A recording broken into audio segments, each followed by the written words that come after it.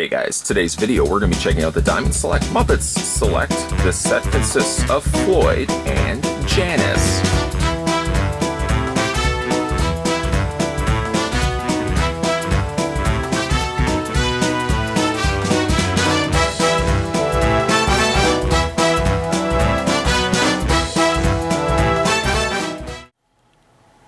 Let's figure out how tall these two are. First things first, let's check out Floyd.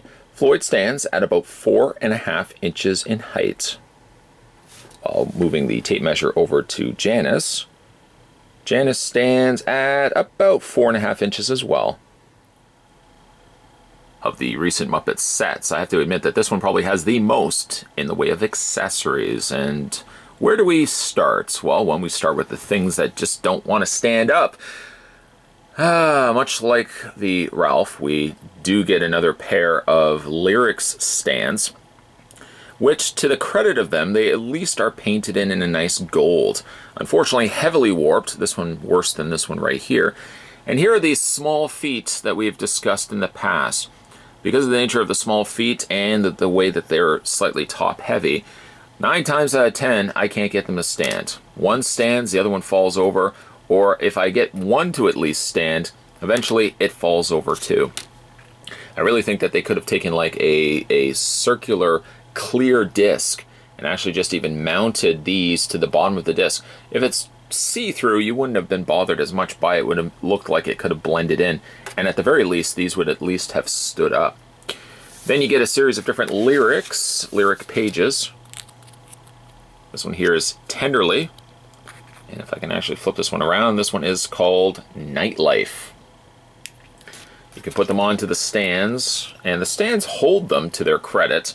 But again, as soon as you put them down, they just want to topple over on you. You also get inside a, uh, a Playtoon Muppet Show, which you can flip around, and it's got the crew, roadies, and special thanks. And then it gives you the full crew of Dr. Teeth and the electric, uh, the electric mayhem, I think it was.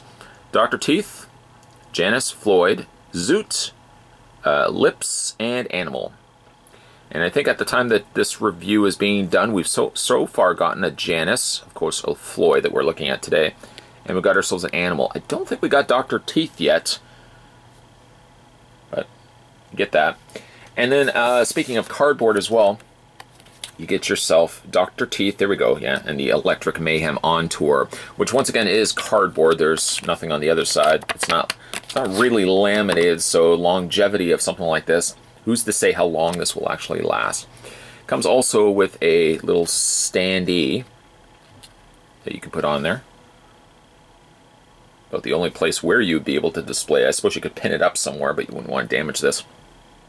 This easel it does look like wood, although it doesn't really have much in the way of grain work to it. It's been painted in brown, and it does not fold up or anything like that. It's just, it's pre-molded. But we can put the, try not to drop it. There we go. We'll put this over here, and we'll slide this over to the side. Just right next to that, they get a pair of speakers, which appear to be identical to one another.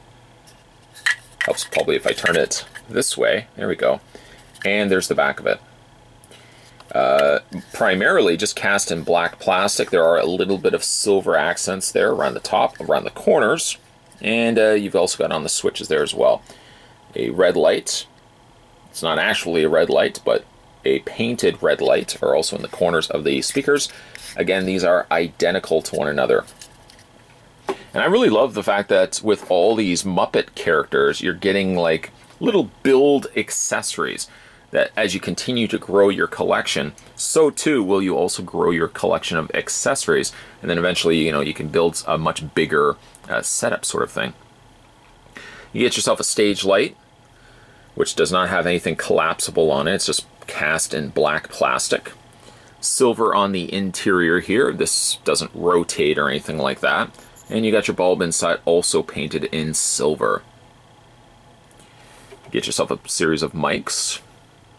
The last set we looked at came with one mic. Here we get two mics, one for Janice, one for Floyd. And like the other ones too, they have removable mics.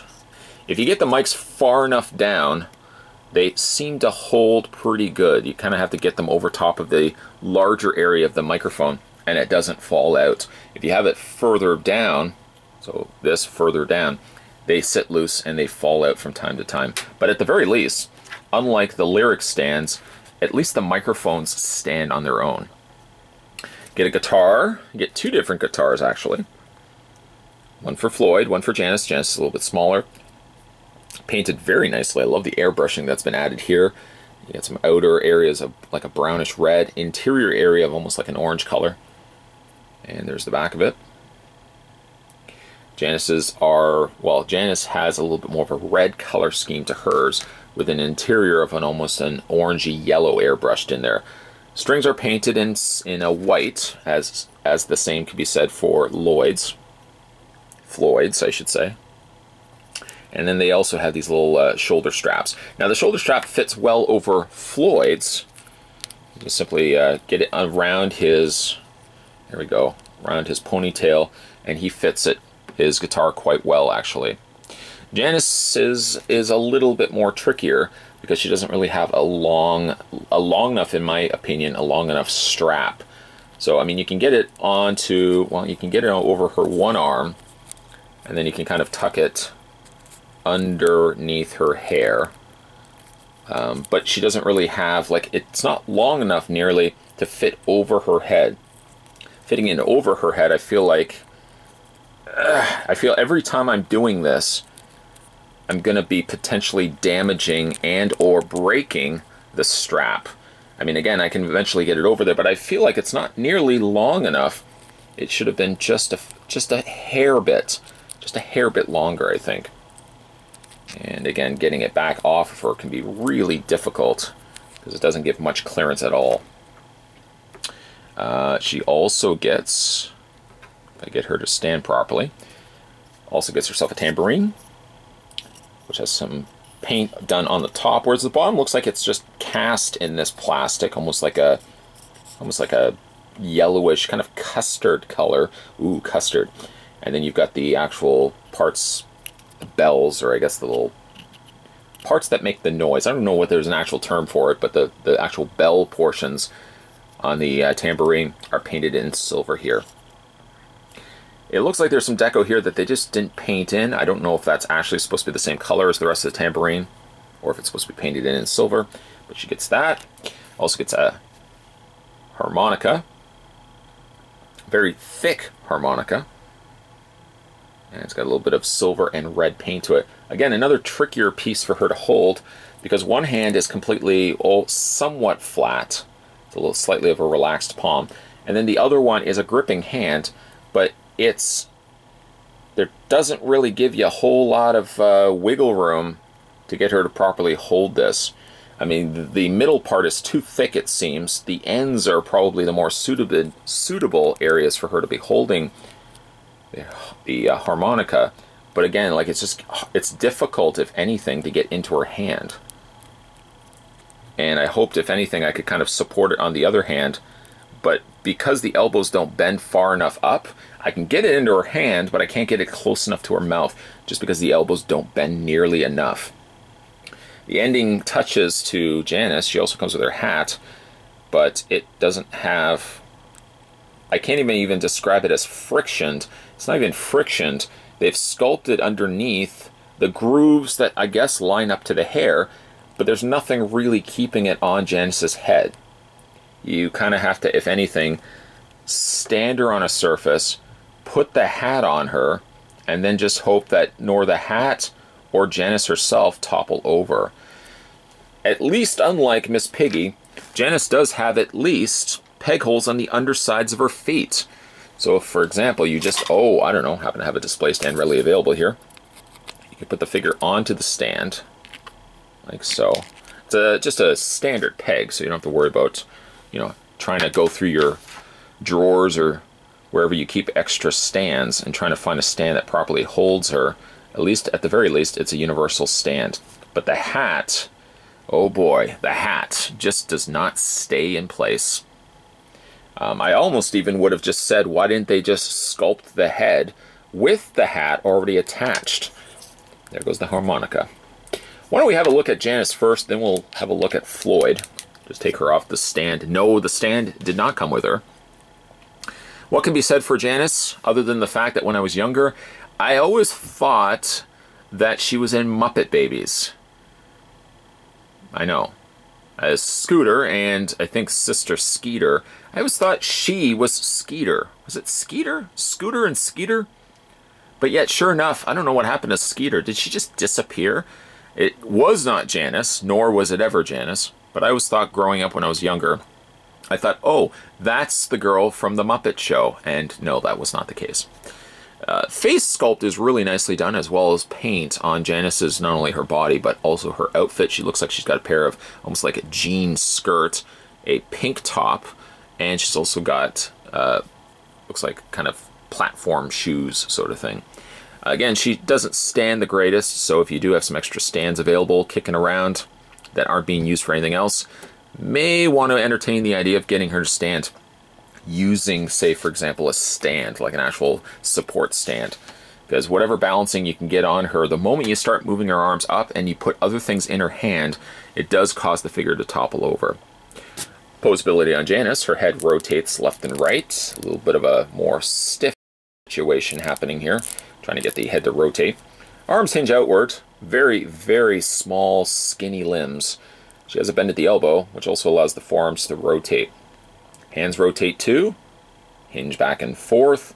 She has an upper torso ball joint. Lower legs somewhat can move. I mean, they're very, rare, very restricted by her skirt. Um, has a top swivel right at the top of the leg there.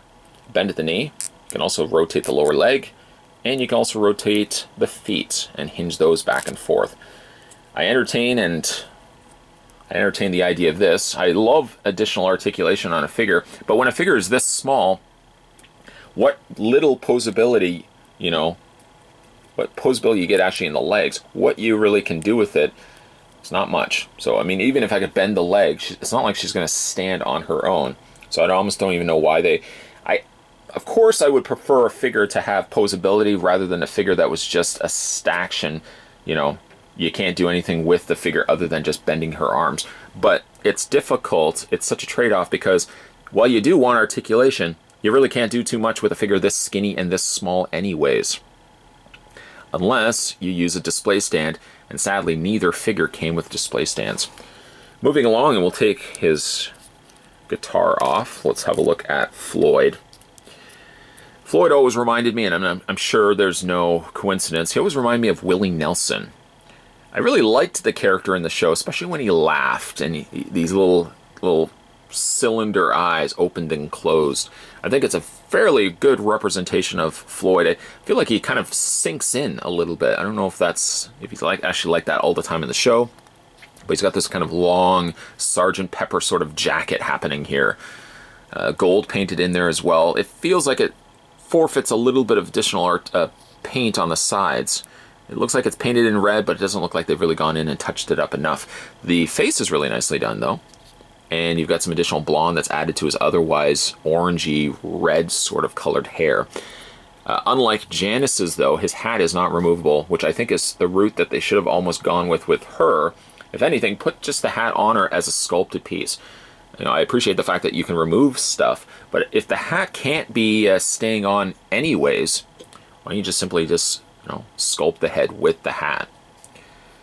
Um, paint on his boots are quite nice. Now, funny enough, he actually has no peg holes on the undersides of his feet, which is somewhat ironic because a figure so small as Janice comes with peg holes, and yet Floyd, even though he does stand, I find that sometimes I have to adjust his feet.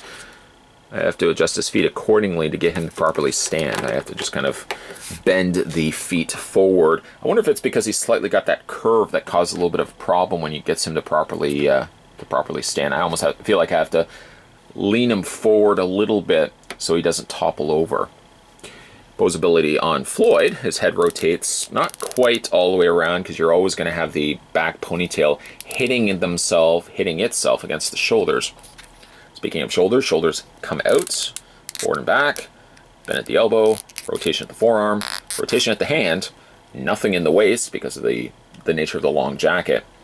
Legs split, slightly forward and back, bend at the knee, rotation on the lower leg, and also has a hinge and ankle pivot as well. Not a bad looking set, definitely makes up for it in the way of its accessories because you're not getting really to start off with very large figures. You're getting kind of medium to small scale figures, so it's nice that they compensated by adding all this additional stuff with them. This is a really nice set, and I'm glad that Diamond Select compensated for the fact that we're getting somewhat smaller characters in this release, that they compensated by giving us some band equipment. And above and beyond, they gave us a lot of band equipment, although some work a little bit better than others. Those lyric stands need to really be fixed. Uh, maybe putting clear stands on the bottom of them so they actually do not topple over could probably help a lot. Um, I like that they give you a bunch of different guitars and, like I said, a whole bunch of different uh, band equipment that come included with this set. Janice, of the two, as you could probably imagine by the nature of just how small and skinny this character is, does have a real tough time standing. So ultimately, I think if I'm going to be displaying any of these, I'm probably going to put a display stand underneath Janice so that she's not going to fall over at all. I kind of wish that she could have held her harmonica a little bit better. And I think for a figure this small with limbs as small as they are, maybe they could have also sculpted both hands with the necessary means to hold all the equipment. Instead, one hand kind of gets a more relaxed sort of gesture, while the other hand is solely, kind of like Miss Piggy really, one hand is more a gripping hand and does really all the work. Uh, it's not one of my favorite sets, this release here. I think of the three that we've just recently looked at, my favorite is still the Rowlf and uh, Mahna Mahna.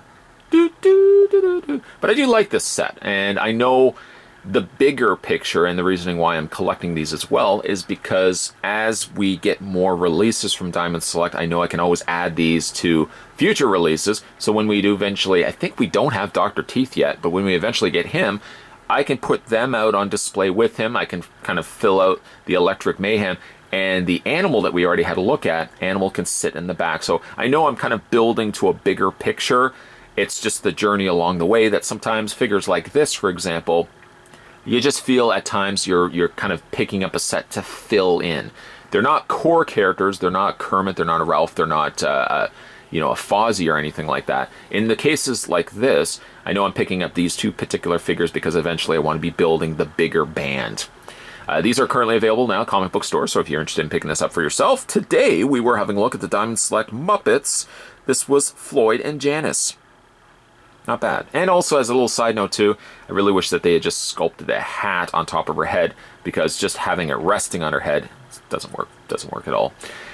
If you guys haven't had a chance to hit that little subscribe button down below, make sure you do so. Of course, more videos will be coming your way. If you guys also want to go back and have a look at some of the Muppets reviews that I've already done on this channel, banked it and stored away, you can go to my Diamond Select Muppets playlist, and you can check out those older videos at your viewing pleasure. Thanks for watching, guys. I'll see you guys next time.